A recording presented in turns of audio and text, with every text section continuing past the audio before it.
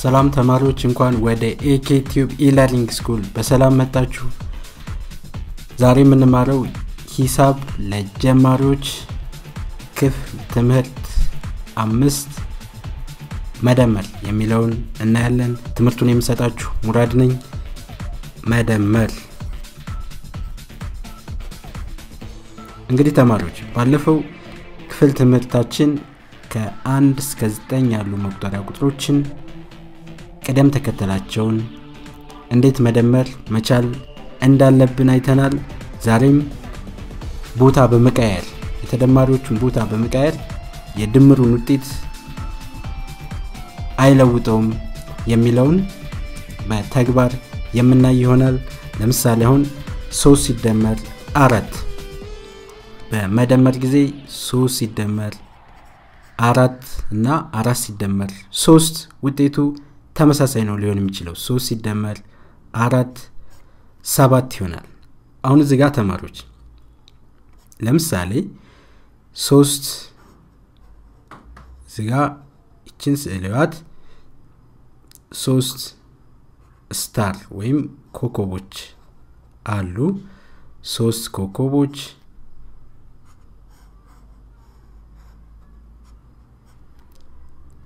ይሄ ምልክት መሀል ላይ ያለው ሲደመር ነው። እነዚህ ሶስት ኮከቦች ላይ ሌላ አራት ኮከቦች ልደምር ነው። አራት ኮከቦች። አራት ኮከቦች።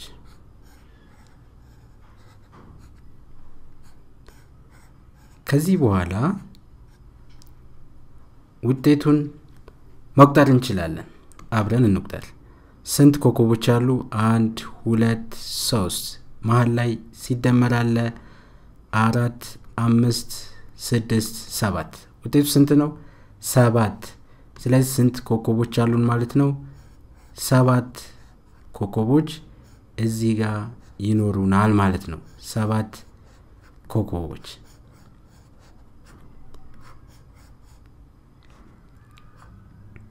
አንድ ሁለት ሶስት አራት አምስት ስድስት ሰባት። ሰባት ኮከቦች አሉን ማለት ነው። ሰባት ኮከቦች። ስለዚህ አንድ ነገር ላይ የምንጨምር ከሆነ ካለው መጠን የሚጨምር ከሆነ መደመር ነው ማለት ነው። ቀጥለን የምናየው ቀጥለን እስኪ አምስት ሲደመር ሁለትን እኒ አምስት ሲደመር ሁለት ውጤቱ አሁንም ሰባት ነው። ውጤቱ አሁንም ሰባት ነው። እዚህ ጋር አምስት እርሳሶችን አሉን ብንል አምስት እርሳሶች አሉን። አምስት እርሳሶች እነዚህ የምትመለከቷቸው ማለት ነው አምስት እርሳሶች ናቸው። እነዚህ ላይ ስንት እርሳስ ልጨምር? ሁለት። ሁለት እርሳሶች ጨመርኩ። አሁን ውጤቱን ለማወቅ መቁጠር ነው። ስቆጥር አንድ ሁለት ሶስት አራት አምስት ስድስት ሰባት። ሰባት ማለት ነው ሰባት ምን? ሰባት እርሳሶች አሉን ማለት ነው። የተደማሪዎቹ ቦታ መቀየር ድምሩን አይለውጠውም። እንግዲህ ተማሪዎች ልብ ብላችሁ ዝጋሁን ከላይ ያሉትን በሳጥን ውስጥ ላስቀምጣቸው እነዚህን ሶስት ሲደመር አራትና አምስት ሲደመር ሁለት ውጤታቸው ተመሳሳይ ነው። ሰባት ነው። የተደማሪዎቹ የተደማሪዎች ቦታ ቢቀያየር ቦታ ቢቀያየር ወይም የቦታ መቀየር መቀየር ድምሩን አይለውጠውም። ድምሩን አይለውጠውም። እስኪ እኔ እንዴት እንደማይለውጠው መመልከት አለብን። ሀ ሁለት ሲደመር ስድስት እና ስድስት ሲደመር ሁለት። ውጤቱ የሁለቱም ስድስት ላይ ሁለት ስጨምር ስምንት ይሆናል። ሁለት ላይ ስድስት ስጨምር ደግሞ አሁንም ውጤቱ ስምንት ይሆናል። ስለዚህ ተመሳሳይ ነው። የቦታ መቀየራቸው የሁለት እና የስድስት ዝጋ ስድስት ዝጋ ሁለት መቀየር ምንም ለውጥ አያመጣም። ሶስት ሲደመር አምስት አሁንም ውጤቱ ስምንት ነው አምስት ሲደመር ሶስት ውጤቱ አሁንም ስምንት ነው።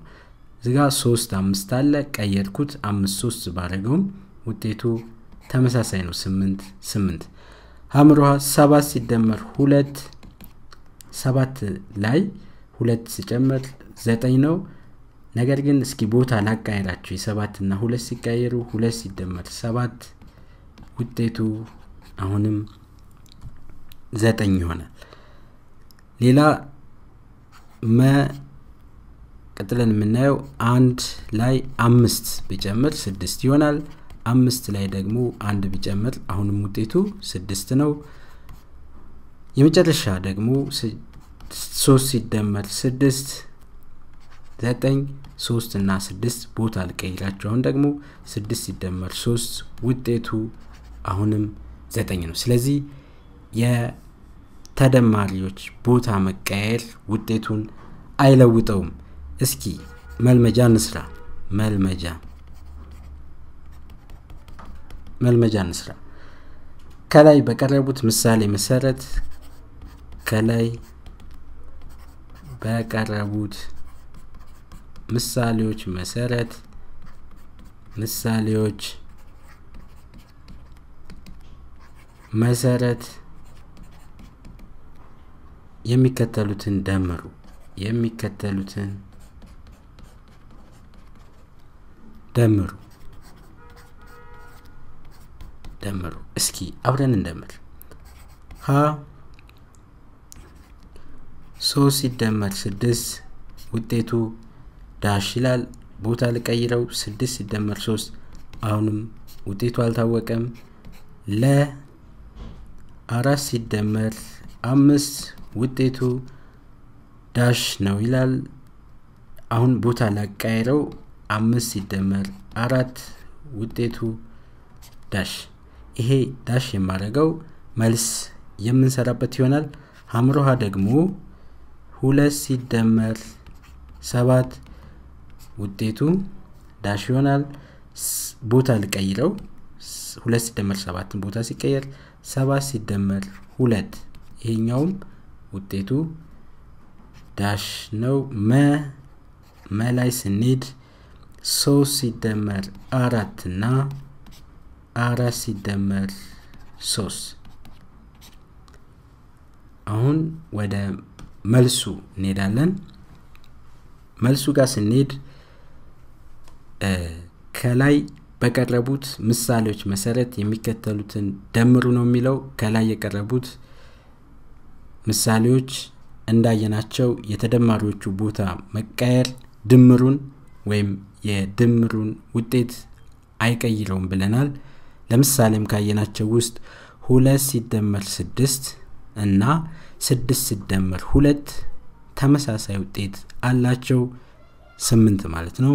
ሶስት ሲደመር አምስት እና አምስት ሲደመር ሶስት ውጤታቸው አይለያይም። ስምንት ይሆናል። አሁንም ድምራቸው አንድ ሲደመር አምስት ስድስት ነው። አምስት ሲደመር አንድም ስድስት ነው። ሰባት ሲደመር ሁለት ዘጠኝ ሲሆን ሁለት ሲደመር ሰባት አሁንም ዘጠኝ ይሆናል። አራት ሲደመር ሁለት ስድስት ነው መልሱ። ሁለት ሲደመር አራት ቦታ ሲቀያየሩ አሁንም ስድስት ይሆናል። ሶስት ሲደመር ስድስት ዘጠኝ ሲሆን ስድስት ሲደመር ሶስት ዘጠኝ ነው። ስለዚህ የተደማሪዎች የቦታ መቀያየር በውጤቱ ላይ ለውጥ አያመጣም። በዚህ መሰረት ይህንን መልመጃ መስራት እንችላለን። ሀ ሶስት ሲደመር ስድስት እና ስድስት ሲደመር ሶስት መልሳቸው ስንት ይሆናል ነው የሚለው? እንግዲህ መልሱ የቦታ መቀየር ለውጥ ስለማያመጣ የሁለቱም እኩል ነው። ስድስት ላይ ሶስት ላይ ስድስት ጨምር ዘጠኝ ሆነ